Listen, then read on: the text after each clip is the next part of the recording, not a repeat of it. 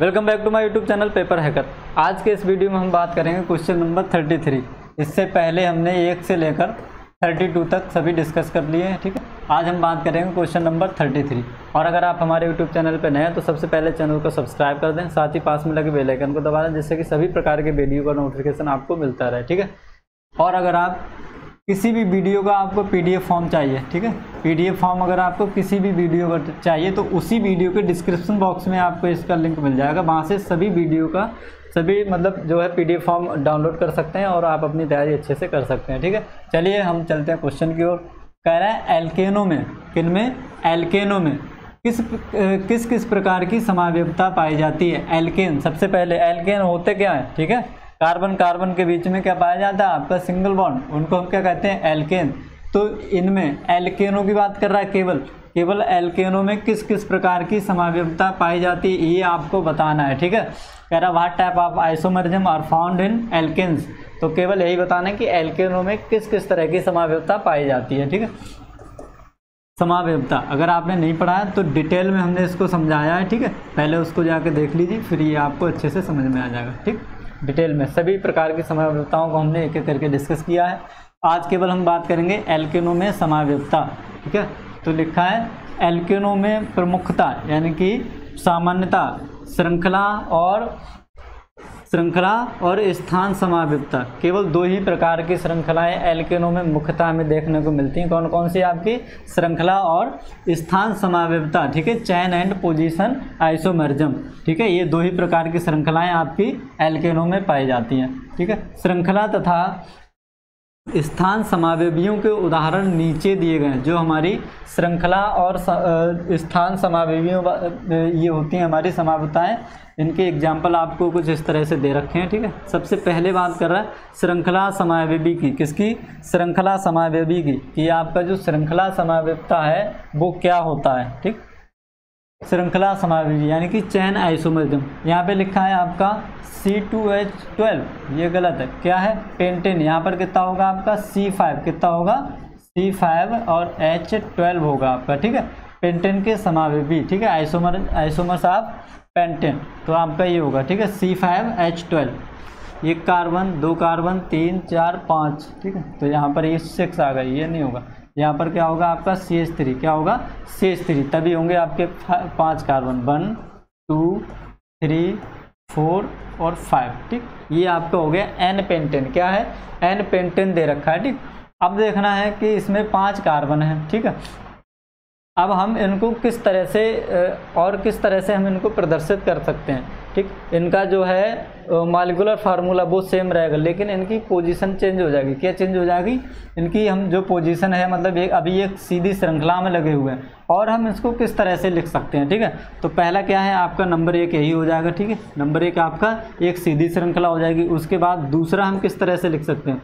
दूसरा हमने क्या करा? एक सी एच थ्री को उठा के कहाँ लगा दिया हमने? इधर से दूसरे वाले कार्बन पे। कहाँ लगा दिया हमने? दूसरे वाले कार्बन पे लगा दिया, ठीक है? अब कार्बन कितने रह गए? श्रृंखला में आपके चार कार्बन रहेगा और एक कहाँ गया आपका? एक साइड चेन की तरह कार्य करेगा। किसकी तरह कार्य करेगा? आपका साइड चेन की तरह कार्य करेगा, ठीक है? तो अब देखो क्या हो गया। कुछ इस तरह से बन जाएगा। वन टू थ्री फोर चार कार्बन पहले कितने थे? पाँच। अब ये एक कार्बन कहाँ आ गया? आपका इधर से यहाँ आ गया, ठीक है? सो यहाँ पर आ जाएगा, ठीक है? थर्ड वाले कार्बन पे। इधर से जो लगा हुआ, यहाँ सी एच थ्री लगा हुआ था। ये आपका अब कहाँ आ गया? यहाँ आ गया और यहाँ से हट गया, ठीक है? अब श्रृंखला में केवल आपके चार कार्बन रह गए और एक कहाँ आ गया? आपका साइड चेन के रूप में आ गया, ठीक है? तो इसकी एक नई फॉर्म ये बन जाएगी आपकी ठीक है? जिसका नाम क्या होगा? टू मेथिल ब्यूटेन अब देखो, एक, दो दो नंबर पर आपका सी एच थ्री ग्रुप लगा हुआ है, इसलिए कह देंगे टू मेथिल और कुल कार्बन कितने हैं आपके? चार। इसलिए क्या हो जाएगा? टू मेथिल ब्यूटेन ठीक है? दूसरा ये हो जाएगा। थर्ड इसकी बात करें तो हम थर्ड इसको किस तरह से लिख सकते हैं? अब हमने क्या करा? जी देखो। ये यहाँ पर दे रखा है। इधर से हमने एक कार्बन को ले लिया, कहाँ लगा दिया? दूसरे कार्बन पे, ठीक है? अब इधर वाला जो चौथा कार्बन है, इसको उठा के कहाँ लगा दो? इसको उठा के दूसरे कार्बन पे ऊपर से लगा दो, ठीक है? ये भी एक पोजीशन ये भी एक इसका संरचना बन सकती है, ठीक? तो यहाँ से हमने उठाया, इसको कहाँ लगा दिया? दूसरे वाले कार्बन पे। अब दूसरे वाले कार्बन पे आपके दो सी एच थ्री ग्रुप लग गए। कितने लग गए? दो सी एच थ्री ग्रुप लग गए, ठीक है? कुल कार्बन कितने हैं? वन टू और थ्री ठीक? ये एक श्रृंखला है, ठीक है? जिसमें कुल हमारे पेरेंट कार्बन कितने हैं? तीन। और दो आपके क्या है? साइड चेन लगी हुई हैं। ठीक है? जिनको हम क्या कहते हैं? मेथिल क्या कहते हैं? मेथिल ठीक है? तो हमारे कितने नंबर पे हैं? दो नंबर कार्बन पे कितने हैं? दो। तो टू कामा टू कितना हो जाएगा? टू कामा टू और इसको कहते हैं डाई मैथिल क्या कहते हैं? डाई मैथिल ठीक है? कुल कार्बन कितने हैं? तीन तीन पे क्या हो जाता है आपका? प्रोपेन। तो two comma two dimethyl propane. या इस संरचना को, ठीक है? कौन सी संरचना को? इस वाली संरचना को हम कहते हैं न्यू पेंटेन क्या कहते हैं? न्यू। न्यू संरचना, ठीक है? कुल कार्बन कितने हैं आपके? पाँच। एक, दो, तीन, चार, पाँच। तो इसमें पेंट लगा दो। पेंटेन। न्यू पेंटेन हो जाएगी, ठीक है? क्या हो जाएगी? न्यू पेंटेन तो हमने देखा कि हमें जो दे रखा था ये आपका पेंटेन दे रखा है ठीक है? क्या दे रखा? Pentane. C five H twelve इसकी कुल कितने समावेशी हमें मिले? तीन। कितने मिल गए? तीन समावेशी इसके हमें यहाँ पर देखने को मिल गए, ठीक है? तो यहाँ पर सॉरी कुछ, ये आगे पहुँच गए हम लोग थोड़ा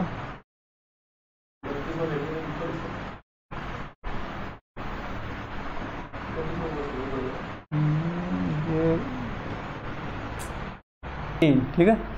अब हम बात करेंगे। नेक्स्ट हमारा है स्थिति समाविधि ठीक है? जिसे हम कहते हैं पोजीशन आइसोमर ठीक? तो इसमें देखो एग्जांपल दे रखा है आपका सी सिक्स एच ट्वेल्व जब सी सिक्स होगा तो एच ट्वेल्व नहीं होगा एच कितना होगा? फोर्टीन होगा, ठीक है? ये क्या है आपका एन हेक्जेन एन हेक्जेन के समावेवी ठीक है?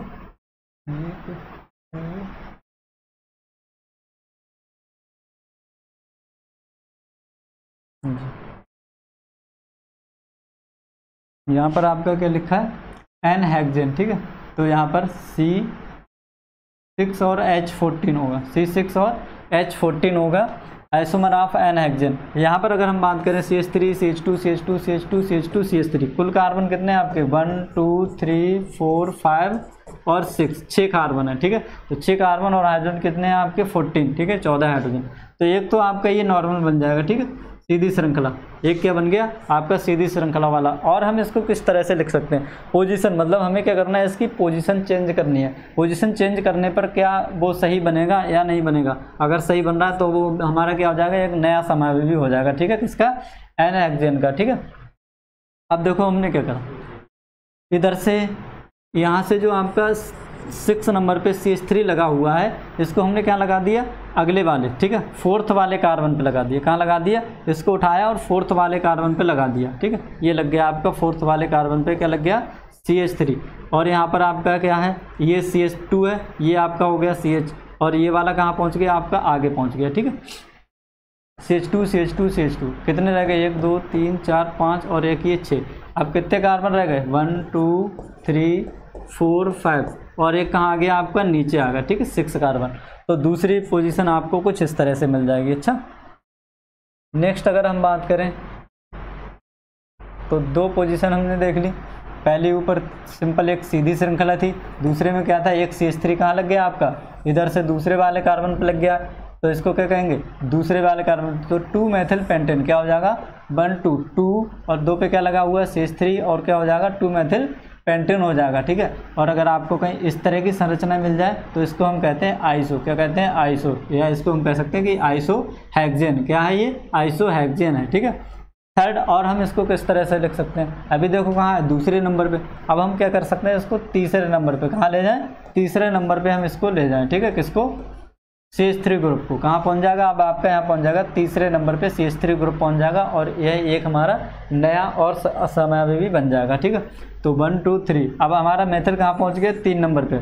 और कुल कार्बन कितने हैं? पेरेंट कार्बन आपके पाँच हैं। तो क्या हो जाएगा? Three methyl pentane. क्या हो जाएगा? थ्री मेथिल पेंटेन हो जाएगा, ठीक है? इसके अलावा अगर हम यहाँ ले जाएँ, कहाँ ले जाएँ? यहाँ ले जाएँ।